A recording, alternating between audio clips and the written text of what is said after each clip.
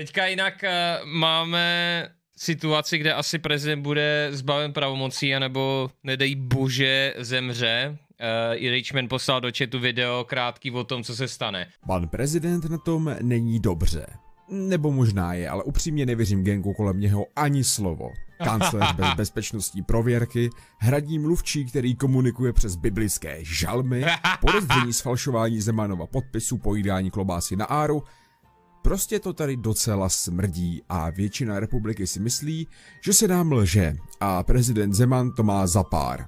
Co s tím? Andrej, Pokud by prezident nyní zemřel, jeho pravomoci by převzal premiér, předseda sněmovny a předseda senátu, tedy Andrej Babiš, Radek Vondráček, oba dva za ANO, a Miloš Vystrčil za ODS, mezi které by se prezidentské pravomoci rozdělily. Babiš Aha. by se stal vrchním velitelem armády, mohl by Ježiš. vyhlásit amnestii nebo jmenovat soudce a dosadit si vlastní soudce by se mu teď velmi hodilo. Ostatně Hmm. s tímto cílem zřejmě bude kandidovat na prezidenta, čemuž by nasvědčoval jeho plánovaný odchod do opozice a řeči o vlastenectví, které zaznívají a které osobně považují za začátek kampaně s před... Jo, od to, ohledně toho mi poslal Zrain obrázek dneska. Ubezpečuji Erik Best, že nikdy nebudu kandidovat na prezidenta. Náplň jeho práce by mě nikdy nebavila a ani na ní nemám předpoklady. V roce 2014 Andrej Babiš. Jo, takže, ale tak jako to je úplně, to je běžný, to už je prostě, to je něco, co se děje naprosto běžně úplně u všeho. Jo, něco řekne a o pár týdnů řekne úplně něco jiného, takže jo, to je to samý s tím, že skončí v politice, to řekl taky několikrát i před volbama a prostě furt tam je, že jo, teď bude v opozici. předstihem před ostatními. On totiž ví, že volby budou brzy, protože u prezidenta byl. Babišova loutka, která u Zemana byla a nebyla za doprovodu a nedoprovodu policie, tedy předseda sněmovny Vondráček, by dostal pravomoc podepisovat za prezidenta zákony, jmenovat ústavní soudce nebo rozpustit sněmovnu a se souhlasem předsedy senátu vyhlásit předčasné volby. Což se naštěstí nikdy nestane, protože Andrej už má jiný plán, který jsem říkal předtím. Předseda Aha. senátu, osoba cizího občanství, Já jsem Tajvanec. použil Aha. jediný důvěryhodný člověk tohoto tria, Miloš Vystrčil, v případě smrti prezidenta do deseti dní vyhlásí nové prezidentské volby, které proběhnou za 90 dní. To prakticky vyřadí všechny, kteří by chtěli kandidovat skrze 50 tisíc podpisů, jelikož je nestihnou sehnat a tak budou kandidovat pouze zástupci politických stran a hnutí. Aha. Je důležité zmínit, že i když již proběhly volby, premiérem je stále Andrej Babiš a pouze prezident může jmenovat premiéra nového. A pokud by tedy Miloš Zeman zemřel po volbách a ještě před jmenováním nového Dobrý premiéra, dostane tuto pravomoc předseda Senátu Vystrčil, který by zřejmě bez otálení jmenoval Petra Fialu. Jsou oba ze stejné strany a dává to smysl. Senát většinu času působí možná trochu zbytečně, Já myslím, že předseda dolní komory. ale teď se náramně hodí. OK. No, tak uvidíme, jak to dopadne. Jinak jsme salovaný teďka vychází každý druhý den. legend Asi se to snaží vydat dřív, než tam skončí, protože pak by se asi mohl to nějak nárokovat. Takže mají tady další reportáž a teď to bude zase pořádná smrsalovina, konečně. Legendární hospoda u Pinkasů v centru Prahy a v ní závod výčepních zvaný Pinkasova noční můra. Pravidla? Tady ve sklepě finalisti z celého světa musí načepovat 10 piv a vyběhnout s nimi 41 schodů sem, kde čeká porota.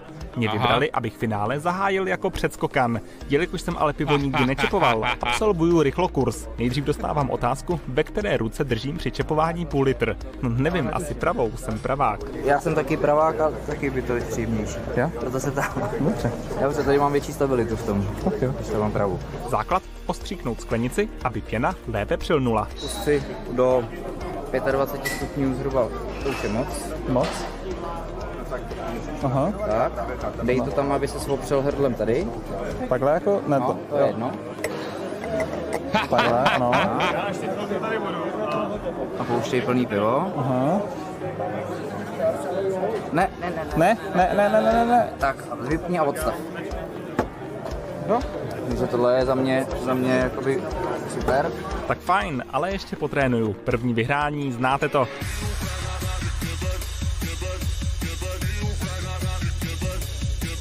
Ty vole. Je někdo pivo? Vyhrá balík, kde je tenhle sol? Tak, drž, drž, drž, drž, drž, vypni a odstav. A odstav. A tohle je věc. Ty jsme se na to už koupil Paráda. práva, ne? Diváci jsou připravení, porota taky, já jen zkusím, jak teče pípa a jdeme na to. Cítím velkou podporu od výčepních, kteří se na mě dívají. Ty vole. A v tom bude vidět, jak jste vy profesionálové. Matěj Smrsel z IBES z restaurace IBES má připraveno 10 skel, má ruce za zády. Start!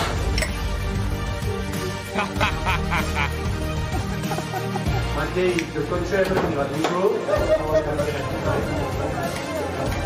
To je hodně velký mýto. To tam dojde, to pivo. To se mě rozčílil. Když výčepní vidí ten zmar, radí, ať neodstříkává.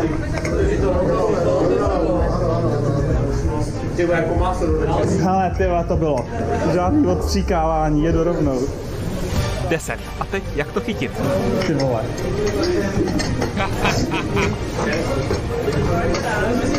Tak každý prs jedno.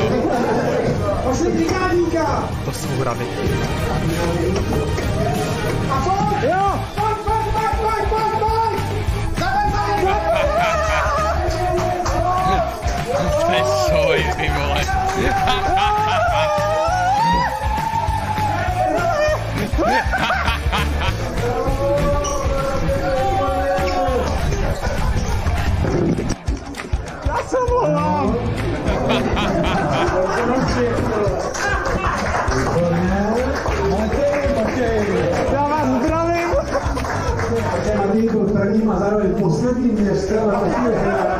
Budete ochutnávat?